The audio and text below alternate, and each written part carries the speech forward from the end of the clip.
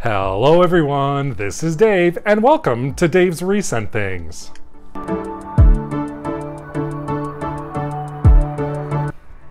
Whether you're a returning friend or a brand new friend, everybody is always welcome here on my channel. I am excited today because I am joining the playlist that Lisa and Company created for Canada Day. If you weren't aware, I am from Ontario, Canada, living in Toronto. So on July 1st, we celebrate Canada Day. And Lisa and Company created a playlist for my fellow Canadian crafters to join to show you some good old red and white Canadian crafts. So, don't forget, after you watch my video, there's going to be a link down below to the playlist. Click on it, click on those videos, and watch them all. so, today I have a red and white ribbon wreath with a little bit of deco mesh mixed in there to celebrate the Canada Day collaboration. So, why don't we hop on to that video and I'll see you on the other side.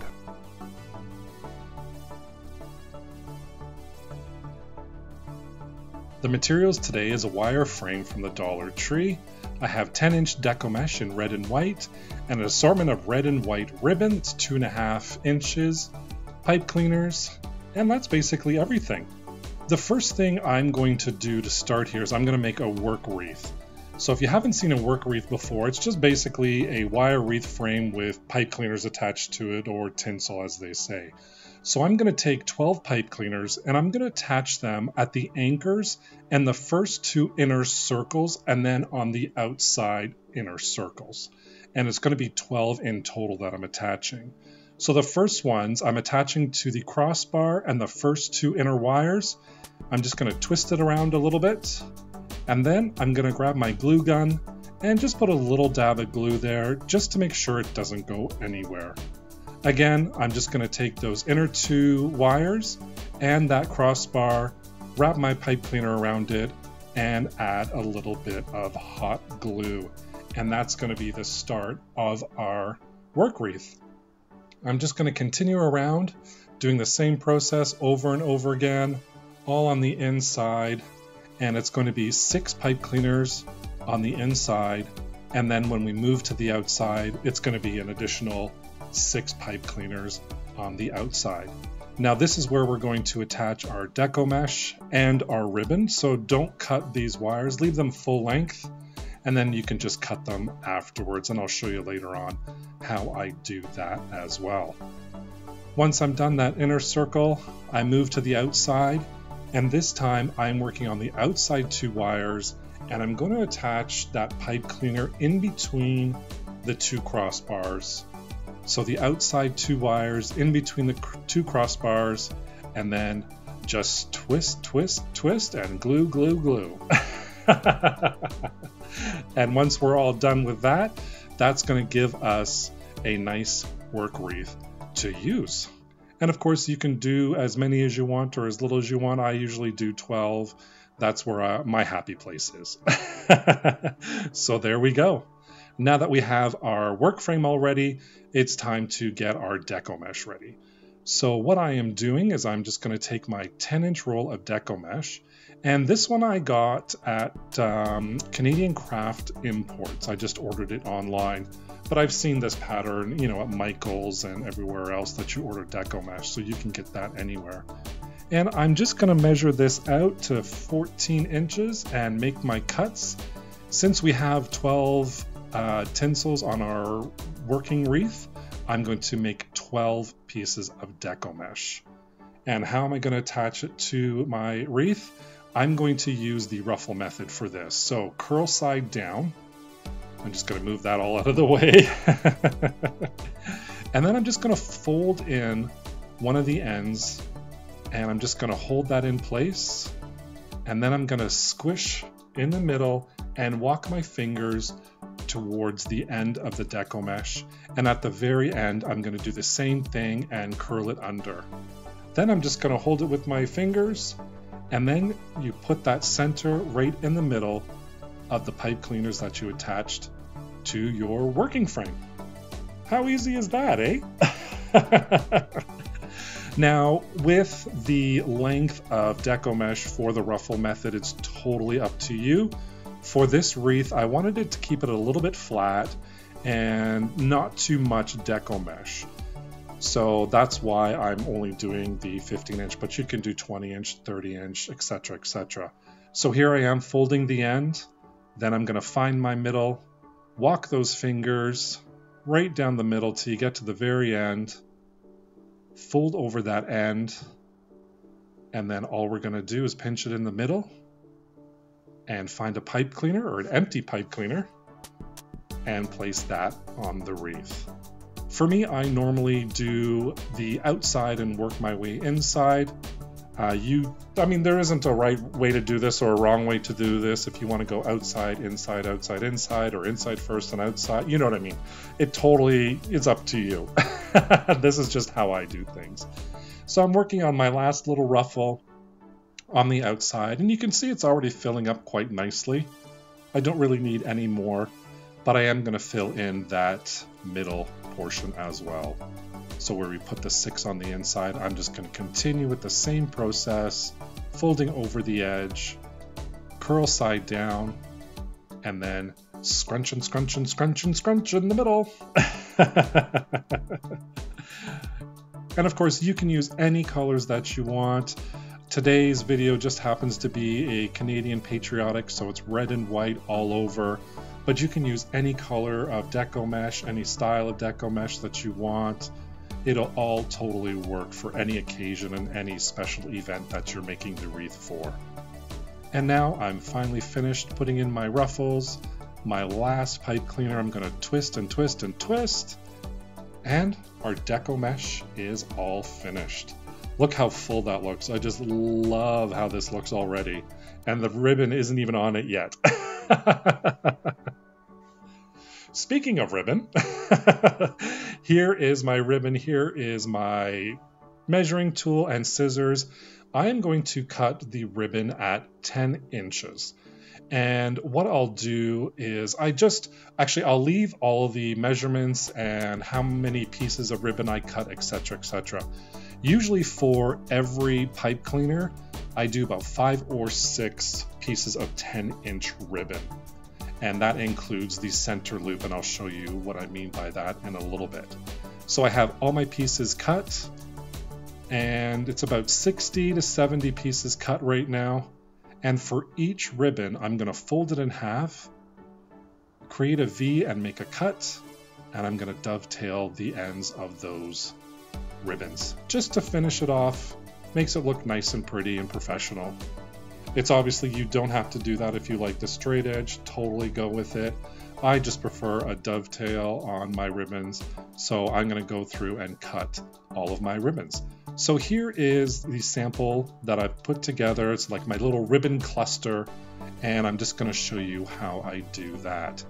So you're gonna take your first piece of ribbon, squish it in the center, and then hold it with your other hand. And then with your free hand, take another one. I'm going to choose the polka dot instead of the plaid, squish it together, and form a T. Then take another one and put that one on a little bit of an angle, such that you're kind of making a star really with the ribbon. Take another one and crisscross the other way. And then for our final ribbon, this is where we're going to make our little loop. So you fold that in half and that's just going to go on the center there. But in order for me to hold it, I have to squish it together. So I'm just going to squish it together, place it in the center, hold it nice and tight so nothing goes anywhere, and then I'm going to put that in between two pipe cleaners where there's no ribbon so far. And I'm just going to give that a really good couple of twists such that that ribbon isn't going to go anywhere. And when that's all done, you can fluff it up, move that ribbon all around, place it, curl it a little bit. These are all wire ribbons, so they do have that bendable movement that I love. And this is the loop that I was talking about earlier on. So it creates a little loop to your bow and it hides that pipe cleaner a little bit better. And there we go. Our first, or second ribbon actually, is all done. And then you just follow the same process over and over again, filling all 12 of those uh, pipe cleaners that we have attached to the working frame. Oh, it's looking so good already. I hope you agree. so let's finish all of this and get the last one done. I'm just going to quickly add this on here together and you can see in the background there the ribbon wreath is coming along so well. I love it. Here's my loop, the last thing I'm going to attach. The last ribbon's going on.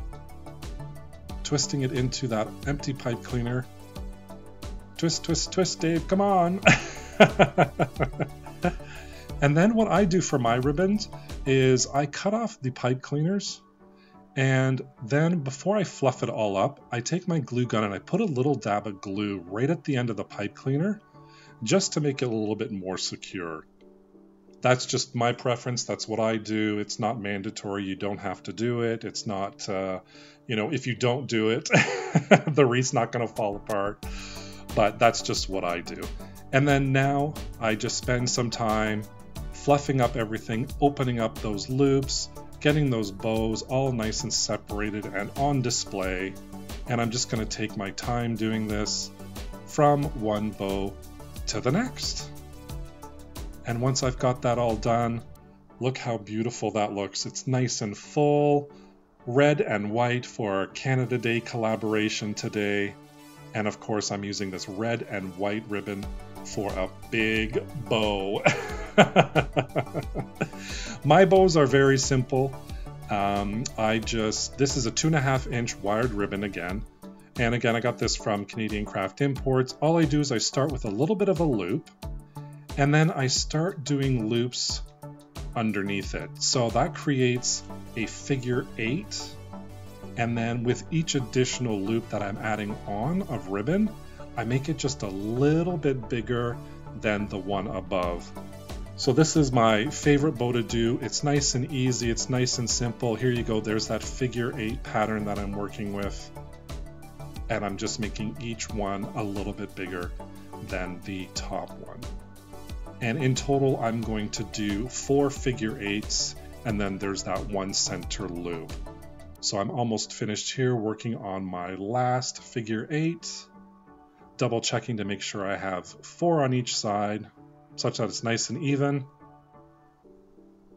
And of course now it's getting a little bit thicker and harder to hold in my hands. so I'm fumbling around with it. but then once that's there, I make sure I have the four like I said, and then I'm going to cut off the excess. I'm going to save that excess because I'm going to make tails and attach tails to this. And we're going to take another chenille stem, feed it through that center loop, lay it down, face down, and then I'm going to find the middle and I'm going to squish that all together and then twist that twist tie right around my ribbon to make sure it's not going to go anywhere. I like to do a couple of really good twists just to make sure that bow doesn't explode on me. not that it's going to explode, but you know what I mean. Make sure it's not going to come apart. oh, that was funny. And there you go. There's your bow. And you can fluff it up now or you can fluff it up later. Right now I'm just kind of testing to make sure everything looks good and I'm happy with it. And what I'm going to do now is create my tail. So for my tail, I don't really measure how long it is. I just kind of take a length of ribbon and then I'm going to do another length of ribbon as well. Here I am testing it out to see if that's what I like. And I do. And then I'm going to take another piece of ribbon and I'm going to do it just a little bit shorter than the first one. And finish it off just like we did with all of the other ribbons. I'm going to fold it in half, take my scissors, and create a nice little finishing touch of that dovetail on both of those ribbons. Then I'm going to find my center, and since it's a wire frame, or wire ribbon, not a wire frame, you can fold it in half and find that center. Squish it in the middle again, fold it underneath, and then we're going to take our bow, flip it upside down, and just attach that tail into your pipe cleaner and give it another couple of really good twists. And voila! You have a really simple, easy bow that you can do at home, and it looks amazing if I do say so myself. All I do to attach it is I flip it over and I find those two center wires and I'm just going to feed those pipe cleaners through and give it another couple of good twists to make sure that bow is on there securely. And as I was holding it up, you could see how thin the wreath was, which I really liked. If you have a storm door or screen door, this will fit perfectly. And there we go.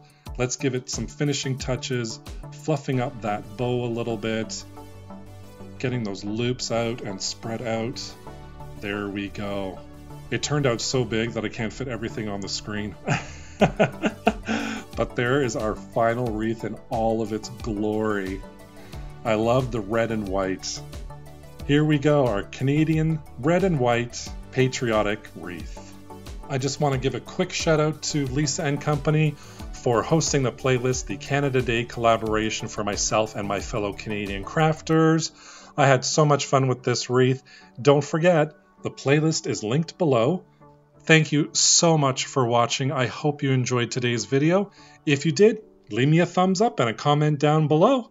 And don't forget to subscribe to my channel and hit that notification bell. Coming up, the gag reel. You're not going to want to miss this one.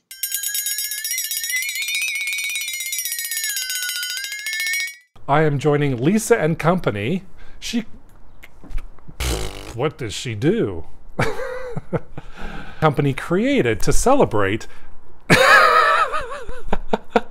and that would be my mic cord. and I was on a roll too. Oh, oh, that was good. Oh. Of course, it would help if the microphone was pinned on me. Let's do it all over again. Canada.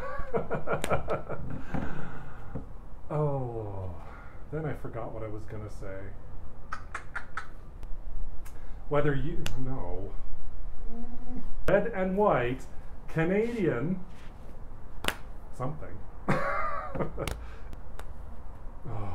lordy, lordy, lordy. and only on take 357,576,324.